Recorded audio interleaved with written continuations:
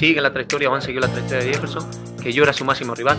Posiblemente no sepan otro rival que, que tenía Jefferson Pérez y conocen eh, mi nombre. Y le pasa lo mismo allí en España. El rival era siempre Jefferson Pérez, siempre Jefferson Pérez. Y aquí ha pasado un poquito lo mismo. Y esa rivalidad creció, creció en una. Pues eso, en un. que hizo grande a la marcha. Hizo grande, más grande a la marcha. Y éramos respetados. Y bueno, yo al final creo que, aprendimos mucho los dos de todo esto. Sí, sí, sí, sí, por supuesto. Es que era una. Es que esa rivalidad todavía no se ha visto en ninguna. O sea, eran rivalidades como. Era. Te iba a poner 1500 el Guerrú, o el Guerrú junto, no sé, quién, con los keniatas, ¿no? Era, eran, siempre estaba el Guerrú y los keniatas, no sé, los keniatas y el etíope en 10.000, Poltergar y el etíope Greve Selassie. Entonces, eran momentos eh, que marcan mm, las épocas de es- esa- esos años.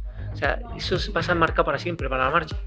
Y en aquella época nosotros marcamos pues es una época dorada de la marcha. Dorada porque éramos él y yo, pero eh, creo que, que todo el mundo disfrutó de esa rivalidad. Yo creo que, a ver, siendo egoísta, te diría que no, porque así sería tres veces campeón del mundo.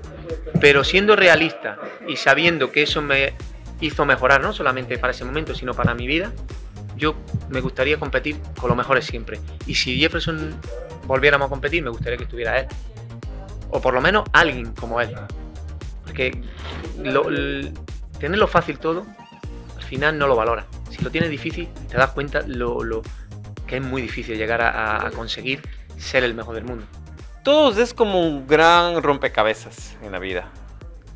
Si volviéramos a pasar, en mi caso, otra vez por este trayecto y faltara una pieza en el trayecto, el rompecabezas de la vida no funcionaría adecuadamente. Entonces, cada pieza estuvo en su momento, cada pieza, somos parte de un gran universo. Solo somos una pieza, un gran universo. Entonces, que esas piezas de ese rompecabezas de la vida, creo que es lo que nos permite entender el, el ser complementos de toda una existencia. Muy amable.